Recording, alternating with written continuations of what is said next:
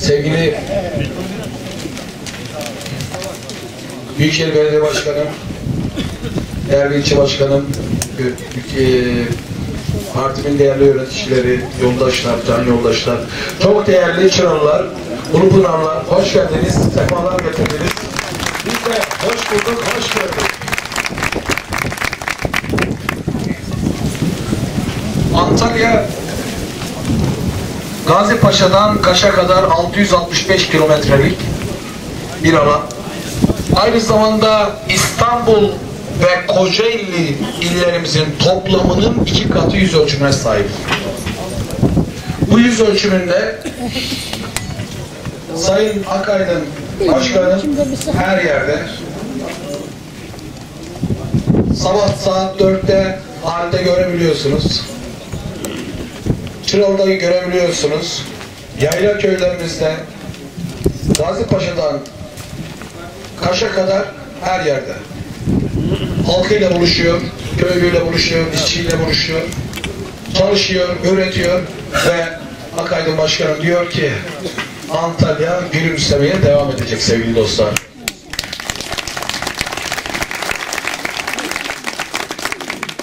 Ben geçen hafta geldiğimde size bir söz vermiştim. Akaydın Başkanımız sizlerle buluşturmaya. Bu sözümü tuttum. Bir şeyi daha vurgulamıştık. 397 parselin durumuyla ilgili. Onunla ilgili de çok değerli bir üstadımızı beraberimizde getirdik. Kendisi yüksek orman mühendisi. Orman konularının profesörü. 8 sene ormanda orman mülkiyeti müdürlüğü yapmış. Osman Çeltik, Or Özcan Çeltik yazdınız burada. O da sizlere 397 parselle ilgili sorunun benim size anlattığımı biraz daha açarak anlatacak. Çok fazla zamanınızı almak istemiyorum çünkü geçen hafta bayağı zamanınızı almıştı. Ben sözü Akaydın Başkanıma bırakıyorum.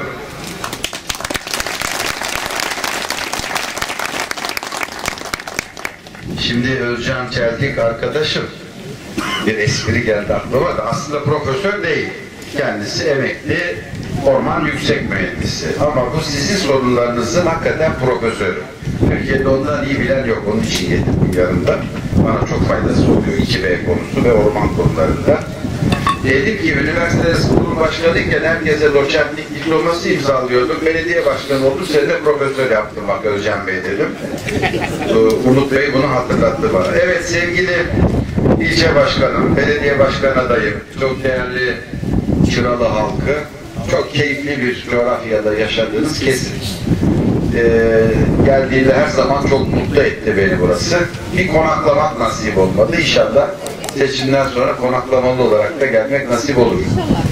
Ee, ama sorunlarınız da var ciddi olarak. Onlara da bizden daha çok e, mikrofonu Özcan Bey'e vereceğiz. Özcan Bey de inecek. Ben e, Antalya'ma 35 yıldır hizmet ediyorum. Bunun 30 yılı eşimle beraber tıp doktoru olarak hizmet verdik. Ama son 5 yıldır beni biliyorsunuz Antalya hemşehrileri Büyükşehir Belediye Başkanlığı'na taşıdı. Bundan tam 5 sene önce Başbakan Tayyip Bey'i biraz üzdük. Ekranlara da bu üzüntüsü yansıdı. Şimdi desteklerinizle hem Kemer'de üzeceğiz, Umut Güneş kardeşimle beraber, hem Büyükşehir'de artık bütün şehir olduk. Bir kez daha e, üzeceğiz Sayın Başbakan. Şimdi değerli arkadaşlarım şu kitapçık çok detaylarına giremeyeceğim size sıkmayın diye. Bir yönünden açıldığında 5 yılda yaptıklarımız, öbür taraftan açıldığında da önümüzdeki 5 yılda sizler için ne vaat ettiklerimiz var. Bunların hepsi ayakları yere basan projeler. Öyle masal yok işin içinde açıkça. İstanbul'a yok ikinci boğaz yapacakmışız falan iyi projeler yok burada. Şimdi değerli hemşerilerim 5 yıl önce hakikaten ağır bir borç yüküyle aldık belediyeyi. Şöyle ifade edeyim, Türkiye'de kişi başına belediye borcu en yüksek olduğu il Antalya'ydı. Ankara ile de yarışıyordu. Ankara'da bize yakındı. Bunları bir etmedik. Bu borçların büyük kısmını ödedik. Ama 2028 yılına kadar borcumuz devam ediyor. Tabii bütün şehir olduğumuz için sizin cebinizden de bu borcu ödemek için işler çıkacak maalesef. Kim yaptı bu borçları? Şimdi gelip karşınızdan sizden o isteyen Menderes Sürer yaptı. Bakın bir örnek vereyim. Bu borcun şu andan itibaren sadece tramvay olarak ödenecek miktarı, bugüne kadar faiz ödedik, 150 milyon avro. Yani avro 3 lira olduğuna göre çarpın, neresinden baksanız 450-500 milyon lira arasında bir Türk parası ödenecek, yeni parayla söylüyorum. Dünyada kilometre maliyeti en pahalı olan tren. Çünkü diğer belediyeler, Kayseri Belediyesi, Antep Belediyesi, AKP'li belediyeler bunlar. Bunlar yaptılar kilometresini 5 milyon avroya mal ettiler. Bizimki 15 milyon avroya mal oldu. Ha, aradaki bu üç katı fark nereye gitti bilemiyorum. Kimsenin günahını almayın. Şimdi ayakkabı kutularına girdi diyemem açıkça. Ama son durumdan sonra biraz kuşku var. Ben ne yaptım? Hem tramvayı çalıştırdım hem de 40 tane otobüs aldım Antalya'ya. Fiyatı 4 milyon avro benimkinin. Yani 40'ta biri tramvayın. O da günde 40 bin yolcu taşıyor, tramvay da günde 40 bin yolcu taşıyor. Arkadaşlar böyle savurgan, böyle halkını düşünmeyen, halkını zarara sokan bir belediyecilik anlayışı olur mu? Üstelik de gittiği güzergahta bütün esnafı batırdı geçti. Beş yıldır esnaf kendini toparlayamadı. Durum bu. Kıyaslamalı olarak. Ee, bu kitapçıkta göreceksiniz. 700 milyonluk yatırım yaptık. Bunun yarısı altyapı yatırımı. Antalya biz belediye başkanı olduğumuzda kanalizasyona bağlılığı yüzde otuzdu. 19 yıllık çalışma sonunda. Biz 5 yılda yüzde 92'ye çıkarttık Antalya'yı. 800 kilometre içme suyu şebekesi yaptık. En büyük yatırımımız 125 milyon lira. 750 bin ton asfalt döşedik. Antalya tarihinin rekoru. Çok önemli bir iş daha yaptık. Ee, doğalgaz Antalya'nın eşiğiyle kapısına gelmişti. Biz ilgili şirketle beraber çalıştık. Şehrin içine soktuk. Şu anda 15 bin civarında konut doğalgaza bağlandı. Sanıyorum bu sene 2014'te 100 bin konutu geçecek. Sıra doğalgazı buralara taşımaya gelecek bu işler bittikten sonra. Bunun gibi bu yatırımların içinde 300 proje var. Ama 300 projenin 60 tanesi 1 milyonla 125 milyon lira arasında projeler. Büyük işler. Ama bunun altında öyle projeler var ki insan odaklı, insana yatırım. Maliyeti çok düşük. Bazen maliyet sıfır. Bakın bugün sabah Antalya'da bir yer hizmeti açtık. Altıncı merkezimiz. Atatürk Çocuk Kültür Merkezi. Şu ana kadar 7 bin çocuğumuza eğitim veriyorduk. Şimdi 10 bine çıkarıyoruz. Yaptığımız şu. Tamamen ücretsiz bu çocuklarımıza dershanede öğretilen İngilizce dahil, fen bilgisi, matematik, Türkçe dahil dershane eğitimi veriyoruz. Çocukların aileleri yoksul. Senede 5 bin liralık dershane parasını karşılayamıyorlar. Ama arasında kültür dersinde, sanat dersinde veriyoruz. Bu çocuklardan ÖSS sınavında 500 puanın üstünde puan alan çocuklar var şu an. Ve bugün açtığımız merkezde bu rakam 10 bine çıkıyor. Köylerden gelen çocukları ücretsiz taşıyarak getirip götürüyoruz. Ve yüzde yatak kapasitesi ekliyoruz yaz kampları için. Avrupa'dan da, Rusya'dan da, kardeş şehirden de çocuklar getireceğiz. Projenin maliyeti fındık fıstık parası, hiç söylemiyorum bile. İşte böyle projeler de var. O kadar çok ki anlatmakta bitmez. Durum bu. Şimdi önümüzde yapacaklarımız da burada yazıyor. Özellikle sizin bölgenizin sıkıntıları, dertlerini biliyoruz. Ama en önemli dertlerinizin tabii ki e, buradaki 397 parselden kaynaklandığını biliyoruz. Ben işin mahiyetini çok iyi öğrendim ama mikrofonu Özcan kardeşime vereceğim. Tabii sözümün sonunda soru sormakta serbest. Bir sohbete geldik. Bitik gibi görmüyoruz burayı. Çok uzatmayacağız onun için ama aklınızda ne soru olursa, olursa sorun. Arkadaşlar son söyleyeceğim şu. Bu seçim Türkiye için son derece önemli. İki yönden önemli. Birincisi şöyle veya böyle Türk halkı soyuldu. İkincisi PKK ve KCK Güneydoğu'da özel devletlerini ilan etmek için her türlü hazırlığı bitirdi. Sıra şimdi seçimi bekliyor. Bunu da ilan ediyor zaten açık açık. Yani Türk askeri ve Türk polisi bugün Güneydoğu Anadolu'da TC yazılarının kaldırılmasını da seyrediyor. Apoposterlerin asılmasını da seyrediyor. PKK bayrağının dalgalanmasına da ses çıkarmıyor. Ben ırkçı bir adam değilim. Benim şehit kanıyla sulanan bu topraklarında benimle beraber adil ve özgürce yaşamak isteyen Kürt kardeşime de, Laz kardeşime de, Ermeniye'de, Rum'unda başım üstüne var. Ben olmaz. Ama ben buradan toprak parçası koparacağım, Türk bayrağını tanımıyorum derse onunla da görülecek hesabım var. Arkadaşlar bu seçim bu iki nedenden dolayı çok önemli.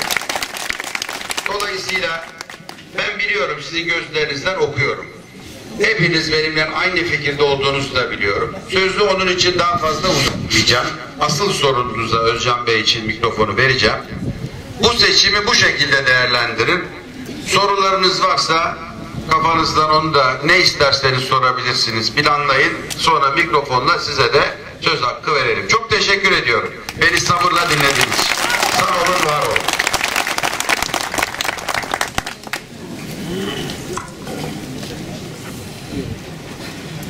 Değerli köylülerim, evvela başkanlarımın teveccühüne teşekkür ederim. Profesörlük ne haddimize tabii ki. Bitişik köyde Yazır'da orman kadastrosunu 1991 ve 92 yılında şantiye kurarak ben yapmıştım. Orada hiç kimse mahkemelik olmadı. Bir tek 2B parseli de yoktur. Çıkması gerekeni çıkardık, çıkmaması gerekeni orman yaptık. Bu örneği verdikten sonra sizin köyünüzde çalışan abimizi tanıyorum. Devletçi, mümkünse vatandaşın hiç tarlası olmasın, her yer orman olsun diyen bir abimizdi. Onun da huyu öyleydi. Köyünüzde 4392 dönüm 2B var. 4392 dönemde. Şimdi küçük sorular soracağım. Burada 2B'si olanlar var mı? Bu 2B'leri kişileri tespit ettiler, fiyatları belli ettiler mi? Ettiler. Hepinize satın alın yüzde onunu şu tarihe kadar yatırın diye bildirdiler mi? Yatırmayan var mı? Var yatıramayan. Tamam. Şimdi yalnız 397 parselle ilgili değil, tüm bu iki beylerle ilgili sizlere bilgi vereceğim. Bakın Antalya'da değil, Türkiye'de 2B ofisi olan tek başkan Büyükşehir Belediye Başkanımızdır. Ne İstanbul'da ne İzmir'de 2B'leri bizim kadar olmalarına rağmen böyle bir ofis açılmadı ama o açma ihtiyacı duydum. Birlikte 4 yıldır çalışıyoruz. 2B'lerdeki raiç bedellerin çok yüksek olduğunu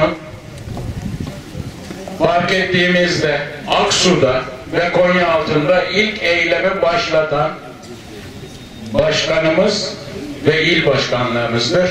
Yüzde yetmişten yüzde elliye düşürülmesinin sebebi onlardır. Bir kere hepimizin ben herhangi bir aday değil sizin gibi vatandaşım hepimizin bu nedenle bile CHP'ye oy verme borcumuz var. Aldığınız iki beyleri evvela satın alanları ve alacak olanları derdini söyleyeyim sonra 397'yi ayrıca anlatacağım. Satın aldığınız iki beyleri sakın tabuyu cebinize koyduğunuzda bile ki yüzde onu yatıran arkadaşlarımız Milli Emlak Müdürlüğü'ne gidip ben yüzde onu yatırdım hazineye ipotekli olarak benim tapumu verin değil. Tapunuzu size vermek zorunda. O tapuyu bir kere cebinize koyun. Neden? Bu yasa hala anayasaya aykırıdır. Günün birisinde iptal ol- olabilir. Tapuyu henüz cebinize koymadıysanız satış işlemi para yatırmış olsanız da iptal olur. O tapuları bir kere alın. Ama yine kurtulmuyorsunuz. Bakın elimde Kaş Kaymakamlığı'nın üç tane yazısı var. Şu vatandaşlarımız sizin gibi parasını yatırmış, iki beylerini almışlar. Şu da aldıkları tapunun fotokopisi. Cumhuriyetin tapusu, devletin tapusu. Yargı kararı olmadan hiç kimse bu tapuyu iptal edemez. Şu da Milli Emlak Müdürlüğü'nün daha sonra gönderdiği bir yazı. Sizin yazınız özel alanda kaldığından tapunuz geri alınmıştır, hazineye geri alınmıştır diye bir yazı. Bunu ilçe başkanımıza veriyoruz, merak edenler baksınlar. Yani hukuksuz olarak sattıkları yeri bile herhangi bir amaçla değerlendirmeye karar verirlerse bir anda yok ediyorlar. Belediye başkanınız avukat. Böyle bir şey var mıdır? Yasalarda yoktur. Ama sizin yeriniz çok özel yer. İnanın bana seçimden sonra güç onların eline geçerse sizin buralar melek gibi yapmak için bütün tabuları iptal haklarına da yasalarla sahip oldular. Bir dönüşüm yasası var. İki beyle bağ kurmuyorsunuz, bilmiyorsunuz belki. Yaptığınız binalar eğer yapı denetim yasasının geçtiği tarihten önce ise asla yasal değil. Hele iki beyler üzerindekiler hiç yasal değil. Bir anda bütün binaların kaldırılmasını, yerlerin geri teslimini bu yazı gibi bir yazıyla sizlere yazacaklardır. Yazacaklardır bunu göreceğiz ömrümüz olursa. Tabii onlar gelirse. Gelmesin de gelmesin. Böyle bir durumda yapacağımız tek şey direnişinizi gazetelerden ve sivil toplum örgütlerinden takip etmiştim. Aynı direnişi göstermektir. Toprağımızın hani diyor ya büyük beyefendi istiklal savaşı veriyoruz. Toprağımızın istiklal savaşını vermek durumunda kalabiliriz ve kalacağız. 397 parselin durumu şudur. 397 parsel çok büyük, devasa bir alan. Niye biliyorum? 4 yıl evvel Orman Mülkiyet Müdürüyken soruşturmasıyla görevlendirilmiştim. Buraya gelmiştim. Derhal tahliyesine karar vermek durumundaydım. Yahut yine süre tanımak durumundaydım. Yine süre tanırdım. Bugünlere yıkılmadan geldi. Bu alan aynen diğer iki beyler gibi iki bey olarak çıkartılmış. Üstünde vatandaşlar yaşıyor. Fakat şurada şerit halinde bir çamlığın altında yön olarak yanılıyor olabilirim. Beş yıl oldu göreli en son. O binalar yüzünden bir niza çıkıyor ve davalık oluyor ormanda. Orman Genel Müdürlüğü ile dava görülürken öyle bir hakime denk geliyor ki Yahu bu kadar güzel yer. Bakın ben bunu aynen tutanaklarında okudum. Böyle bir dille e, mahkeme tutanağı yazıldığını da görmedim ama orada okudum. Bu kadar güzel, bu kadar muhteşem bir yer, endemik türlerin yaşadığı bir yer, iki B ile orman sınırları dışına çıkartılamaz. Onun için bu parselin tamamı devlet ormanıdır demiş. Mahkeme kararı aynen bu. Mahkeme kararı böyle çıkınca o zamanlar meşhur bir 20. hukuk dairesi vardı Ankara'da. Ne giderse gitsin orman derdi. Yargıtay tarafından da onaylandı. Dolayısıyla burası artık orman. Yapabilecek hiçbir şey yok. İki B işlemleri oralara uygulamak mümkün değil. Ne yapılabilir? Sayın Başkan adayımız buna kafa yoruyor. Burada insanların birlikte bir şeyler yapabileceği, buradan yararlanabileceği projeler geliştirdi. Tabii bu projelerin gerçekleşebilmesi için merkezi hükümetin de bunlardan kurtarılması gerektiğine inanıyorum. proje olarak vardır ama gerçekleştirmek şu şartlar altında çok zor. Peki bir başka yasadan daha söz edeceğim size. 6831 sayılı yasanın bir maddesi var. Ta benim zamanımda Antalya'dan teklif etmiştik. 10 bine yakın yaylalar da dahil devlet ormanlarında orman olduğu için yıkılması gereken binaları var vatandaşların. Bu milli servettir. Bunların tatil köylerine bütün sahilleri kiraya veriyorsunuz. Bu binaları neden kiraya vermeyelim? Niye devlet para kazanmasın? Emlak vergisinin iki katı gibi bir bedelle. Bu fikirler Ankara'da yer edindi. Kendi başları da İstanbul'dan ağrıyınca bu yasayı bir torba yasanın içine koydular, değiştirdiler. Şimdi kendi yerinizin Orman Genel Müdürlüğü demirbaşları alıyor, benim binam diyor ve kullanıcıya kiralayabiliyor. Bu başvurularda bulunmanızda da sizlere elimizden geleni, elimizden gelen yardımı yapacağız. İki sahalarınıza boş olan yerleri boş bırakmayın. Daima bakımlı tutun. Paraları yatırmış olmanız inanın bana sizin sahibi olduğunuz anlamına gelmiyor az önce anlattığım nedenle. İkincisi yatıramamış olan arkadaşlar endişe etmesin. Satamayacaklarını biliyorlardı. Onlar için önemli olan Sayın Umakı'dan dahil tayfasının İstanbul'da satın aldığı iki beyleri kendilerine mal etmekti. Bu yasalar zaten onun için çıktı. Zamanında çıkartacak olsalar dört kere yasayı hazırladı hazırladı ama çıkartmadılar. Son anına geldiğinde bu yasayı çıkarttılar, onu da yarım yamalak çıkarttılar. Bu civarların insanları satın alamasın diye ben biliyorum görevlileri çünkü tanıyorum fiyat tespiti yapan insanları mümkün olduğu kadar fahiş fiyat belirleyin diye baskı yaptılar. Gelen insanlar sizin bugün bir yerde bir parseli 40 bin liraya alabilecekseniz 2B fiyatını 45 bin lira yazın. Amaç sizlerin satın almaması. Amaç onların birleştirilerek turizme uygun yerlerde turizm amaçlı.